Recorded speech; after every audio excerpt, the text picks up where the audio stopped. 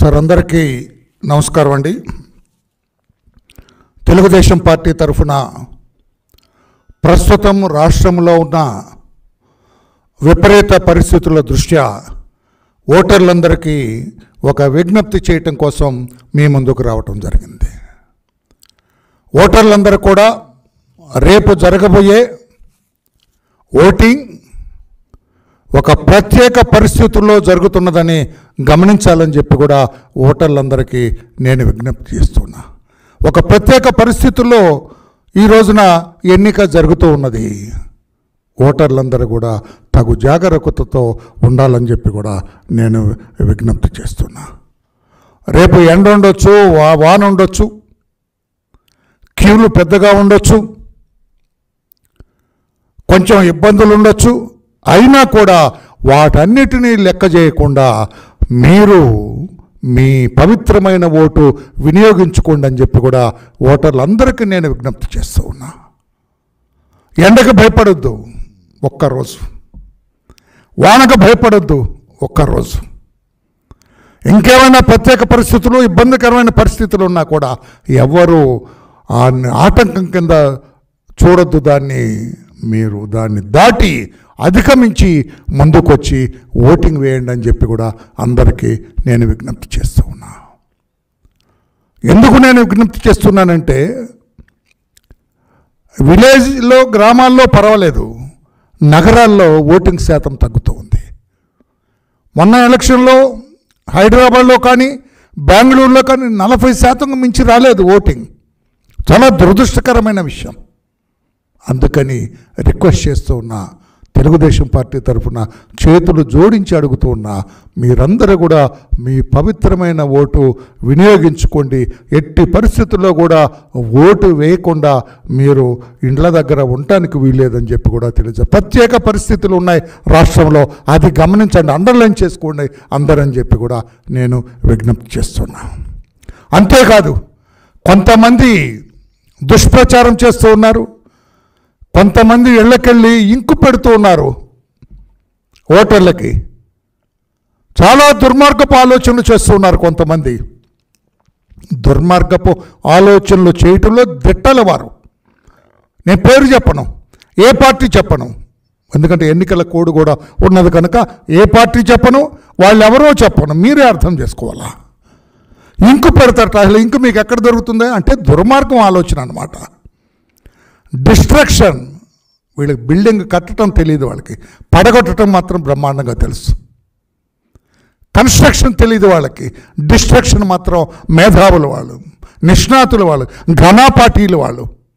అందుకని అర్థం చేసుకోండి. ఇంకు పూసినా ఇంకేది చేసినా మీరు పోలింగ్ బూత్కు రండి. ఈ ఇంకుని అక్కడ అధికారులు ఎవరు కూడా పరిగణలోకి తీసుకోరు. నీ చేతికి ఇంకు వాళ్ళు పూసినా కూడా మీకు ఓటు హక్కు అక్కడ ఉన్నది. మీ ఓటు అక్కడ రెడీగా ఉంటుంది. మీరు ఓటు వేయండి. అక్కడ ఇంకు ఉంటుంది. ఆ ఇంకు ఎక్కడ దొరకదు. వీళ్ళు దొంగ ఇంకు పూస్తున్నారు. దుర్మార్గపు ఇంకు డూప్లికేట్. డూప్లికేట్లు అంటే తెలుసు కదా. డూప్లికేటింగ్ పోస్తారు. మీరు దాన్ని పట్టించుకోవద్దు. దయచేసి వచ్చి ఓటేయండి అని చెప్పి కూడా మీ అందరికి నేను ఇంకు పూసినా పర్వాలేదు. మొహాన కొట్టినట్టు చెంప చెళ్ళు అనిపించినట్టు మీరు పోలింగ్ బూత్కు రండి. మీ ఓటు అక్కడ రెడీగా ఉంటుంది. తీసుకోండి. ఓటు వేయండి. అని చెప్పి కూడా మీ అందరికీ నేను విజ్ఞప్తి చేస్తున్నా. ఓటు వేయకుండా ఉండొద్దు. పోలింగ్ డేని కొంతమంది హాలిడేగా చూస్తారు కొంతమంది ఆ ఆలోచనే వద్దు మీ అందరికి విజ్ఞప్తి చేస్తూ ఉన్నాను నేను. పోలింగ్ శాతం పెంచాలి మీరందరూ కూడా. పోలింగ్ శాతం పెంచినప్పుడే అది సముచిత నిర్ణయం కింద వస్తుందని చెప్పి కూడా మీ అందరికీ నేను విజ్ఞప్తి చేస్తున్నాను రాష్ట్రంలో ప్రత్యేక పరిస్థితులు ఉన్నాయన్న విషయాన్ని మీరు మర్చిపోవద్దని చెప్పి కూడా నేను ఓటర్ మహాశయులందరికీ కూడా విజ్ఞప్తి చేస్తున్నాను మీరు టెండర్ ఓటు అడగండి. మీ ఓటు ఎవరన్నా వేసినట్లయితే మీరు వెళ్ళేటప్పటికి? నేను వేస్తాను నేను. నా పేరు మీద ఎవరో వేశారు నాకు టెండర్ ఓటు ఇవ్వండి అని చెప్పి అడిగి వేయండి.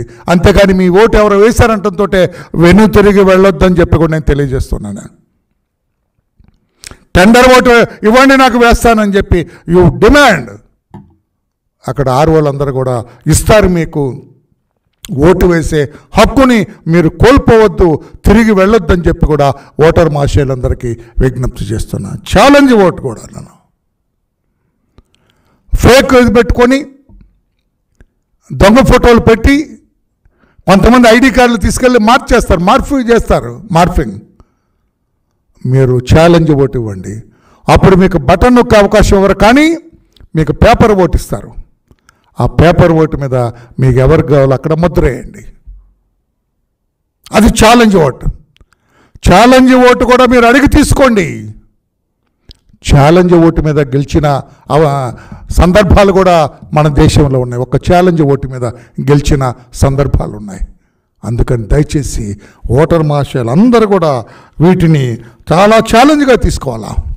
ప్రతిష్టాత్మకంగా తీసుకోవాలా. ఈ ఓటు వేయటం అనేది మీ హక్కుగా భావించాలా? పవిత్రమైన ఓటు అంటారు అందుకే దీన్ని మీ పవిత్రమైన ఓటుని. ఓటు వేయకుండా అపవిత్రం చేయొద్దు. దుర్మార్గుల చేతికి మీ పవిత్రమైన ఓటు అందేటట్లుగా చేయొద్దు. మీ పవిత్రమైన ఓటును మీరే వేయండి. సముచిత నిర్ణయం తీసుకొని వేయండి. రాష్ట్రంలో ప్రత్యేక పరిస్థితులు గమనించి వేయండి అని చెప్పి కూడా మీ అందరికీ నేను విజ్ఞప్తి చేస్తూ ఉన్నా. తర్వాత కమిషన్కి నేను విజ్ఞప్తి చేస్తున్నా. అయ్యా కమిషన్ పెద్దలారా ఎలక్షన్ కమిషన్ ఎండ ఎక్కువగా ఉంటుంది. సరిపడ సరిపడా షామియానాలు ఏర్పాటు చేయండి. అక్కడ వాటర్ తాగునీరు ఏర్పాటు చేయండి. అవసరమైతే కొంతమందిని సహాయకులను ఏర్పాటు చేయండి. ఓఆర్ఎస్ కూడా పెడతా ఉన్నారు మీరు ఏర్పాటు చేయండి అందరికి. ఎండ చాలా విపరీతంగా ఉంటుంది. ఒకవేళ వర్షం వస్తే ఆ వర్షం నుంచి ఈ ఓటర్లు కాపాడుకునేటట్లుగా మీరు అక్కడ ఏర్పాట్లు చేయండి. తగినన్ని షామియానాలు ఏర్పాటు చేయండి అని చెప్పి కూడా విజ్ఞప్తి చేస్తూ ఉన్నాం. అక్కడ వీల్ చైర్స్ పెట్టండి. చాలామంది దివ్యాంగులు వస్తారు వృద్ధులు వస్తారు వాళ్ళందరికీ సహాయకులను కూడా నే- నియమించండి అని చెప్పి కూడా మేము విజ్ఞప్తి చేస్తున్నాం. అక్కడ వీల్ చైర్ ఏదైనా అడగండి మీకు వీల్ చైర్ ఏర్పాటు చేస్తారు. వీల్ చైర్లు అక్కడికి లోపలికి వెళ్తారు అక్కడ మీకు వాళ్ళు సహాయపడతారు. జాగ్రత్తగా ఓటేసేటప్పుడు కూడా మీరు జాగ్రత్తగా ఉండండి. అధికారుల సహాయం తీసుకునేటప్పుడు కూడా పోలింగ్ అధికారుల సహాయం తీసుకునేటప్పుడు కూడా మీరు కడు జాగ్రత్తతో ఉండాలని చెప్పి కూడా నేను విజ్ఞప్తి చేస్తూ ఉన్నా. ఎందుకు ప్రత్యేకంగా తెలుగుదేశం ప్రతి నెవర్ ఇట్లా ఈ రకంగా రిక్వెస్ట్ చేయాలి ఓటర్ని ప్రత్యేక పరిస్థితులు ఉన్నాయి కనుక నేను విజ్ఞప్తి చేస్తూ ఉన్నా. దయచేసి మీరు ఆలోచించి అందరూ వచ్చి ఎవ్వరు కూడా ఇంటి దగ్గర ఓటు వేయకుండా ఉండొద్దు. ఎవరి బడి రాష్ట్రంలో ఉన్న అందరూ కూడా ఓటు హక్కు వినియోగించుకోవాలని చెప్పి కూడా నేను విజ్ఞప్తి చేస్తున్నాం. ఎందుకంటే చాలా దుర్మార్గం నడుస్తూ ఉంది. ఈ రోజున మహాత్మా గాంధీ గారి ముఖానికి మాస్క్ పెట్టారండి. నేను ఇదేదో ప్ర- ప్రచారం చేయాలనే ఉద్దేశం నాకు కాదు. మహాత్మా గాంధీ గారిని కూడా గౌరవించడం చేత కాకపోతే ఎట్లాగండి? అందుకే మీ అందరికీ నేను విజ్ఞప్తి చేస్తున్నా. ఇది సరైన విధానం కాదు. సరే అందుకే ఎలక్షన్ కమిషన్కి ఇప్పుడు లేఖ రాసి దీన్ని కూడా జత చేసి పంపిస్తున్నాం. కఠిన చర్యలు తీసుకోవాలా? పోలీసులు మేము ఎఫ్ఐఆర్ రిజిస్టర్ చేసామంటున్నారు ఎఫ్ఐఆర్ రిజిస్టర్ చేయడంతో సరిపోదు పోలీస్ అధికారులారా. ఎన్నికల కమిషన్ అధికారులారా పెద్దలారా ఆలోచించండి. ఎఫ్ఐఆర్ రిజిస్టర్ అయితే ఎఫ్ఐఆర్ రిజిస్టర్ అయితే ఏమిటి? ఇమ్మీడియట్గా యాక్షన్ ఉండాలా? Action to be initiated immediately. లేకపోతే ఎఫ్ఐఆర్ రిజిస్టర్ చేసినంత మాత్రాన అతనేమి భయపడడు అతను చ చట్టం చేతిలోకి తీసుకున్నట్టే అవుద్దు అతనికి అని చెప్పి కూడా నేను తెలియజేస్తున్నాను నేను. అందుకోసమే మీ అందరికీ నేను విజ్ఞప్తి చేస్తున్నా. అక్కడ దళితులపై దాడి చేసిన కోన వెంకట్ బాపట్లలో ఎస్ఐ జనార్దన్ ఎఫ్ఐఆర్ ఇష్యూ చేసామంటున్నారు అధికారులు. That is not enough ఇమ్మీడియట్గా కోనా వెంకట్ ఎస్ఐ జనార్దన్ని అరెస్ట్ చేసి వాళ్ళిద్దరిని జ్యుడిషియల్ కస్టడీకి పంపించాలా? న్యాయమూర్తి ఎదుటి వాళ్ళని ప్రవేశపెట్టాలి. న్యాయమూర్తి బెయిల్ ఓకే మేమేం కాదనము. కానీ ఎఫ్ఐఆర్ ఇష్యూ చేసాం మీ ఆగడాలు మీరు చేసుకోండి అంటే సరైంది కాదు అని చెప్పి కూడా మేము తెలియజేస్తున్నాం మేము. చివరగా ఈ రోజున అంతర్జాతీయ తల్లుల మదర్స్ డే తల్లుల దినోత్సవం. దేశవ్యాప్తంగానే కాదు ప్రపంచవ్యాప్తంగా తల్లుల్ని గౌరవించే దినోత్సవం ఇది. ఈ రోజున మన రాష్ట్రంలో ఒక తల్లి ఆక్రందన ఒక తల్లి ఆవేదన ఒక తల్లి మనోవేదన ఒక తల్లి బాధపడుతున్న తీరు కూడా దయచేసి రాష్ట్ర ప్రజలు అర్థం చేసుకోవాలని చెప్పి కూడా తెలియదు అంతకంటే నేను డీటెయిల్స్లోకి పోను. ఎందుకంటే ఎన్నికల కమిషన్ కొంచెం ఇదిలో ఉంది కనుక కోడమల్లో ఉంది కనుక అంతకంటే నా తల్లి ఆవేదన ఆ తల్లి మనోక్షోభ మనోవేదన ఆ మహాతల్లి ఆక్రందన రాష్ట్ర ప్రజలు అర్థం చేసుకోవాలని చెప్పి కూడా విజ్ఞప్తి చేస్తున్నా. చివరగా ఓటర్లందరికీ నేను విజ్ఞప్తి చేస్తున్నా. దయచేసి ప్రతి ఒక్కరు కూడా మీ ఓటు హక్కు వినియోగించుకోండి.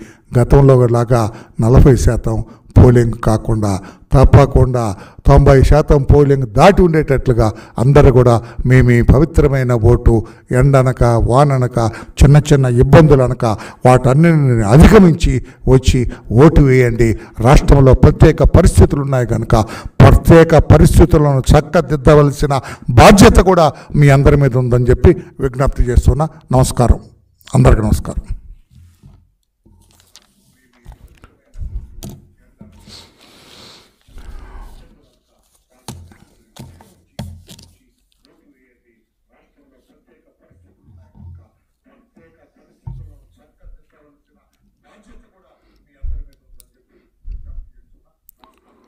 Any question on this? You are at liberty to ask me.